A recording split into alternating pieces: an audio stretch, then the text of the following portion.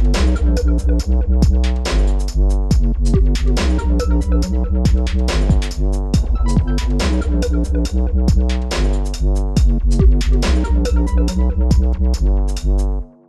and welcome to another video. Today I'll be showing you how to make a dubstep in the style of Digital Mystikz, taking influence from several tracks including Haunted. The project file, samples and presets are available in the description for a small contribution and please consider subscribing or liking the video if you enjoy the content. I've also recently re-released an improved version of my first serum pack which is up on my Bandcamp and linked in the description. We're at 140 BPM and in the key of F sharp Phrygian dominant. Digital Mystikz tend to favor harmonic minor scales and chromatic patterns like in Haunted. This is the kick.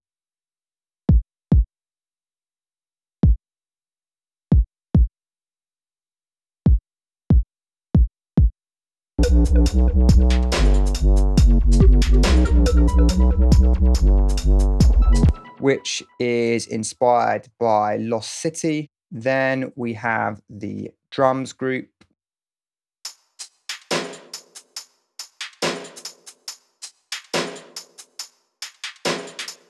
First, we have the snare, which hits on the third beat of every bar. Although I've moved it back on the grid a little to create a laid back feel.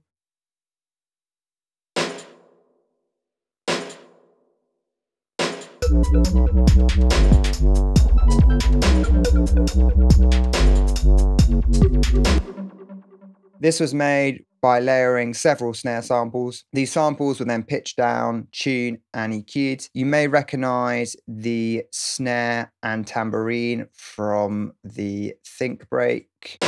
Some of Digital Mystikz snares have a live feel, so this is something I tried to capture by using a breakbeat snare. I've added vinyl distortion for grittiness and some EQ. Distortion plays an important role in this style, but it tends to be subtle warming as opposed to heavy saturation. Next, we have the clap, which sort of plays around the snare.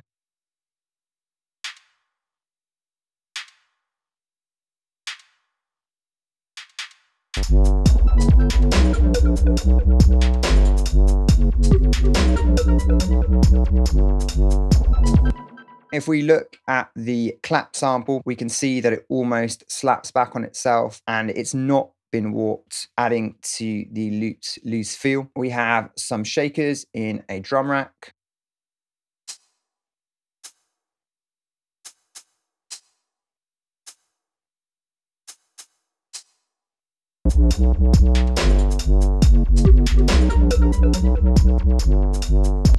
Then we have the ride cymbal, which only plays for the second four bars of the loop.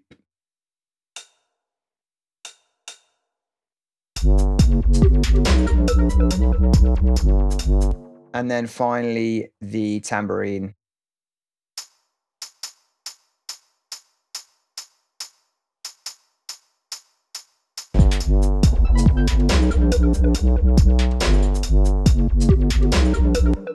A similar quarter note focused tambourine pattern is found in Lost City. All the high frequency percussion is panned to create width. In the groove pool, we have an MPC groove which has been applied to all the drum MIDI aside from the kick and to the laser, which we'll see in a moment. On the drums group, we have drum bus to glue everything together, an EQ, and reverb is applied via send A and I've used this basement preset to reflect the environment that this music would be experienced in. Next, we have the effects.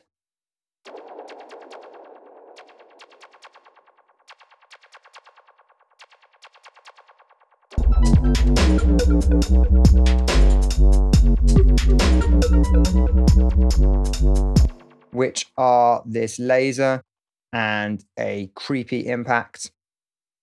The laser has an EQ and dubby echo The FX have reverb applied via A. These effects create background ambience, which is crucial when making old style dubstep, since the arrangements can be sparse and textures and WFX help fill out the frequency spectrum. These are the basses, which are inspired by Haunted.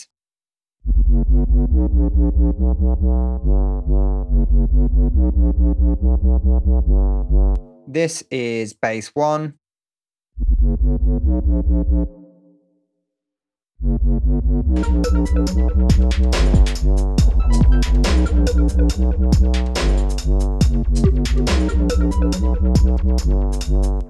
Oscillator A is a sine wave taken down by two octaves, as is the sub oscillator, which is direct out. FM from B is active in A's warp menu and is being modulated by LFO1, which I'll talk more about in a sec.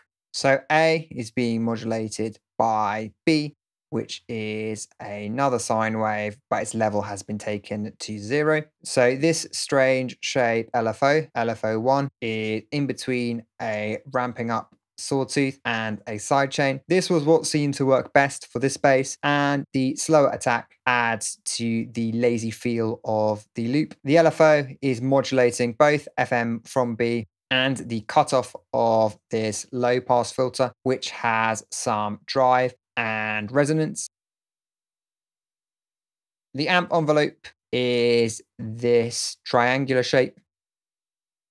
In the effects, we have tube distortion with a filter. On the channel, we have an EQ3 to increase the sub.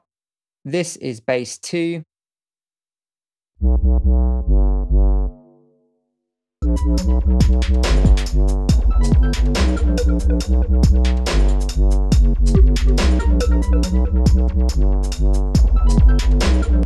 This patch is almost identical to bass 1, but we have a single square wave in oscillator A and no FM synthesis. The LFO rate is 1 over 4 and it's a very slightly different shape. Again, there's distortion in the effects. On the channel, there's an EQ increasing the sub and another EQ to remove some mids, both on the channel. On the group, we have an EQ to remove rumble, glue compression, and subtle chorus to add some detuning.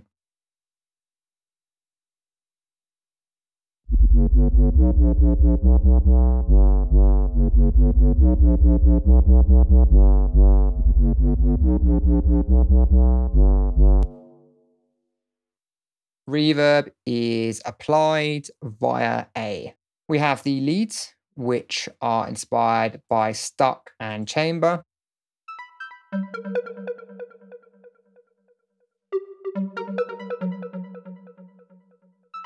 This is the saw lead.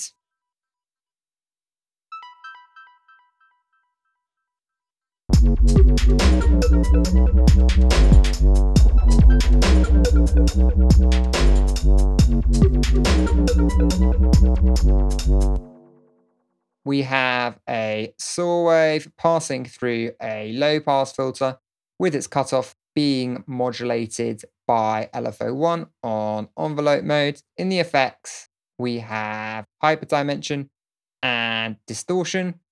Then we have the square leads.